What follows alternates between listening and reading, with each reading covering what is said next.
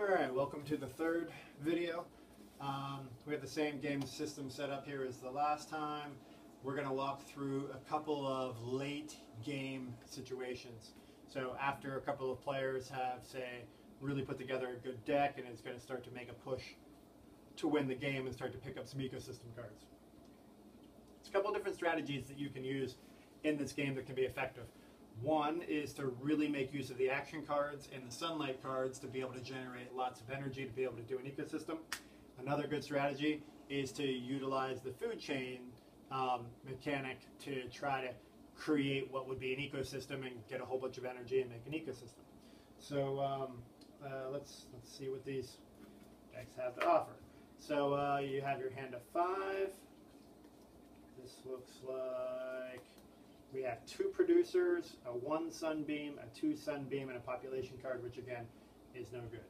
So um, no good for playing anyway. So we're going to start with our actions. We'll lay a producer card. We draw one card and get another action. See what happens. Oh, it's another sunlight. That's useful. We're going to use our second action because we gain one to lay the other producer card. So I get to draw another card and I get another action. Uh, now we're talking. So now we have an herbivore. Well, herbivores eat the producers, so this works out really well. So I'll use my, my remaining action to lay the herbivore. The herbivore is worth one energy, one sunlight energy. I get to draw two more cards, and it says if a producer is in play, I get another action. Well, I have a producer in play, so let's see what happens. I lay my herbivore. I draw my two cards. A carnivore, that's useful. Uh, disease card, I picked that up earlier when somebody um, hit me with, uh, with an attack card, so I got diseased. It's again no good. It's negative one victory point, so it cancels out my population. I have another action because my I have a producer on the table, so I'm going to lay my carnivore. My carnivore is worth a worth a sunlight. It gives me another two cards, and for each herbivore in play, I get another action. So I have one, so I get another action. So my carnivore. I get two more cards, and I drew the megalode here. I drew a breeding season action, which I'll explain in a second, and a top consumer. Um, the top consumer is awesome, um, but if I lay it, my turn will be over because I'd be out of action. So first, we're going to do the breeding season. The breeding season gives me an energy, but it says if I have two of the same type of organisms down, I, I unlock all of this other stuff. I get another card, I get another action, I get two more energy, and I get two buy. Since I have two of the same organisms, I have two producers down, breeding season. So I'm going to lay this. All of that opens up for me, so I get another card, which is a three sunlight. I get another action, which I'm going to use for my top consumer. Now, if you can get a whole food chain out, you're in great shape. The top consumer is worth three energy, two buys, plus one energy for every other consumer in play. So, I'm all out of actions now. So let's add up what I can do for the buy phase. Well, let's see. I have one, two, three, four, five, six, seven. My herbivore gives me another one, so that's eight. My carnivore gives me another one, so that's nine. My breeding season gives me one, so that's 10. And I unlock these other two, so that's 12. My top consumer gives me three, so that's 15. And then it's worth another one for each other um, consumer. So that's 15, 16, 17.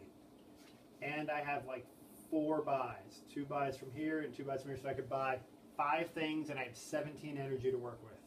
So right off the bat, I'm going to grab an ecosystem card because that's the ultimate goal, and that uses up 10 of them. And I have seven more. I might as well buy a community and get even more victory points. That uses up all 17. Everything then goes in the discard pile.